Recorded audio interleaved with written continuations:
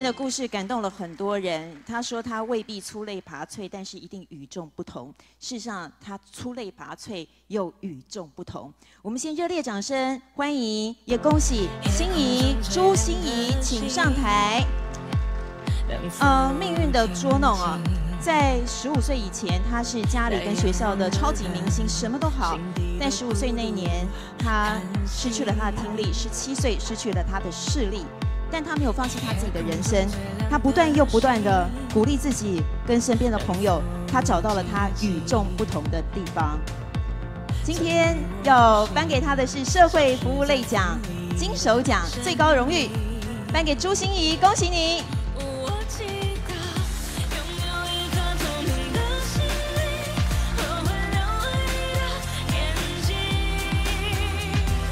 好，现在是独照时间。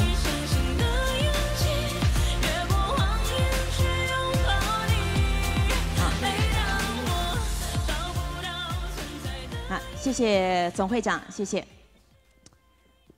好的，我们心仪真的不简单哦，他刚刚完成了一个壮游九天的铁马环台之旅哦，他办到了。我说了好久，我都还没办到，但是他做到了。请心仪发表当选感言。是，谢谢。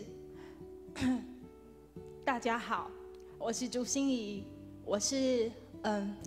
海峡两岸第一位取得证照的智商心理师。嗯，我绝对不是最优秀的视障者，也不是最厉害的心理师，但是我好幸运，因为我找到了一个很好的位置，这个位置能够让我实现我的愿望，就是回馈社会。我要感谢我的失明。